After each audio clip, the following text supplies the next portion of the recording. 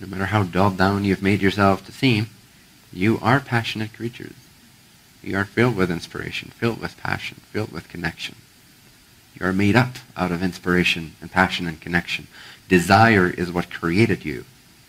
Every ounce of your being and character and body, every cell of your being is created out of thin air, out of desire. It's not true that the one infinite creator has no desires. It is the only one that ever has had a desire. It has had a desire for everythingness. And now you are exploring everythingness from infinite points of view. It has a desire for expressing and exploring its infinite nature from infinite points of view through infinite beings. If anything, that is your, your purpose, that is your journey, that is your honor, that is your duty, that is your task, that is your joy. Is to express infinity in a way that is uniquely inspired in you. So you see, inspiration is the one infinite creator communicating directly to you. That's why it's not healthy to give up desires. It's healthy to investigate why you think you need and want certain things to compensate for believing that they're lacking to begin with. But when you sort of get the hang of that exploration, you start to see through the major veils of lack. You, know, you no longer believe lack can exist. Now you're abundant. Now your energy is freed up. Now you have become a conscious, free, deliberate, inspired creator. You're no longer afraid of lack. And when you're no longer afraid of lack, every single desire you feel is a true one. It's a sincere inspiration, coming ultimately all the way from the Absolute itself, as indirect as that might feel or seem sometimes. It is filtered through other levels of consciousness before it arrives there. It is tailored, it is fine-tuned by higher levels of consciousness before it is given to you as an inspiration. Nevertheless, all that is retraceable to the one infinite beyond consciousness beyond creation, the enabler of all that there is, the one, infinite unity, is what generated you. You are an extension, an immediate extension. You are the fingertip of the one infinite creator. You're executing its will already as we speak. Your true desire is its will. There is no difference. That's why selfishness and selflessness at some point become one and the same stream. Right now, for many of us, it might still be a little muddled by lack beliefs. We might have filtered our true inspirations by lack beliefs. And therefore, we might mess things up a little bit and not be as clear and transparent as we could be, but that's okay. Again, it's never too late. To clarify yourself, how do you do that? You follow your resonance. You listen to what feels good. When you get through this process, initially it feels like some churning, some investigation, but it becomes easier and snappier and snappier and more and more effortless and more and more Adam and Eve-like. Oh, it doesn't feel good. Okay, let's go over here. Oh, it feels good. And without any lingering confusion or layers on top of that, it will just be transparent. That is when your desires will be totally clear to you. And when they're totally clear to you, those desires are directly inspired from your higher consciousness, and before that from the one infinite creator, wanting to express its infinity in a certain way. So there's no difference between what you want and what the creator wants. You don't have to give up what you desire in order to meet the creator. You have to give up your expectations. That's another thing. I completely disagree with if Buddha actually taught this, that desire is the cause of all suffering. It's simply not true. It is the cause of all reconnection. It is your only hope. Desire is your only hope to find reconnection. It is that gravitational pull from the one infinite creator to all of its portions to always stay connected. It's that spiritual gravity that we feel as desire, as inspiration, as passion, as connection. The cause of all suffering is the belief that lack can exist. You see, in all of creation, everything is possible except for one thing, lack.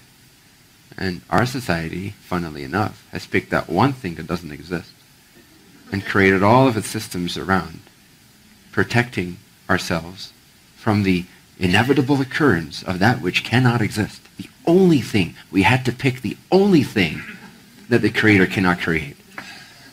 We just had to. We couldn't not scratch that itch. We had to scratch it. There's one thing the Creator can create. And, okay.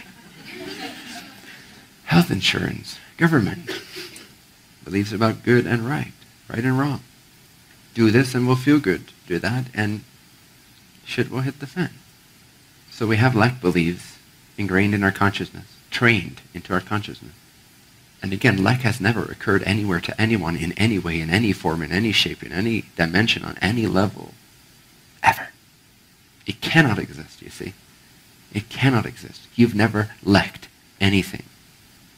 I know not all of you see this right now. Not fully. You might believe it because it feels good, but you might also have your hesitations. What about children without water? Well, discover how that's abundant. If you can, you'll start to see as the Creator sees. There's no lack there. There's deliberate free will at work, and it has nothing to do with you.